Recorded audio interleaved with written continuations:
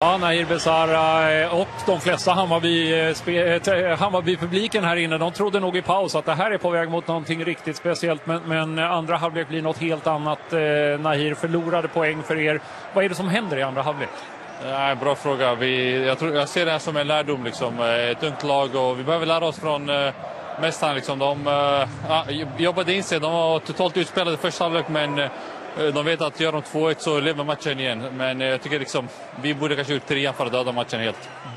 Man säger ofta det där, vi ska fortsätta precis som vi gör i första. Vad är svårigheten med det att liksom komma in på samma sätt? Nej, vi hade säkert i omklädningsrummet och vi har gjort det förr också. Att vi kommer ut och uh, spelar vårt spel och går för trean men uh, Malmö liksom, jag tycker att första 15 i andra är vi också bättre men sen när de skapar första läget och eh, gör första mål då blir vi lite skakiga kanske. Mm.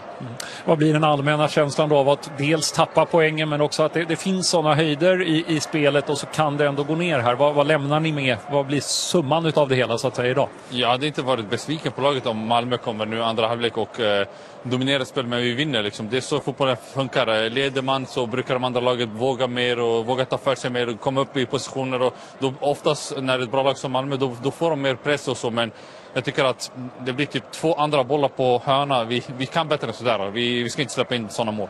Det är 29 av 30 spelade. Det är Västerås borta kvar och ni vet ju förstås vad det, vad det gäller här med Europaplatserna och så. Eh, är, det, är det liksom bara det här kvar nu att man krämar ur det sista eller kan man tänka lite taktiskt och, och sådana saker också?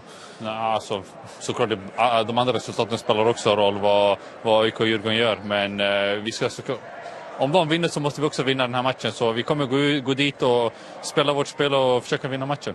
Tack. Tack. Ja, så där låter det från eh, Nahir Besara som såklart är besviken eh, när det bara blir en pinne här idag. Det är klart att Malmö gick ut. De kunde ju spela. De har ju inget att förlora. Nej men de vill, de i Malmö är liksom vinnarkultur, man ska vinna ändå och mm. allt det där. Och det var därför lite vi sa i halvtid, så var det lätt att sagt att byta in tre, fyra stycken så. Men då hade man ju på något sätt inte gett de här unga chansen utan det är ju att man får spela in sig och komma in i det och sådär. Och, och göra det i en sån här match med fullsatt, eh, en riktig utskåpning i första halvlek. Att då komma tillbaka, den erfarenheten är otroligt Precis. viktig. Så att eh, jag är glad att de bara gjorde eh, ett eller två byten. Ett tyckte jag var självklart men Eh, och så liksom ge de här unga chansen, för det här betyder jättemycket inför nästa säsong. Mm. Vi eh, har eh, Taha Ali på väg till oss i studion, eh, men innan dess så ska vi få ta och lyssna på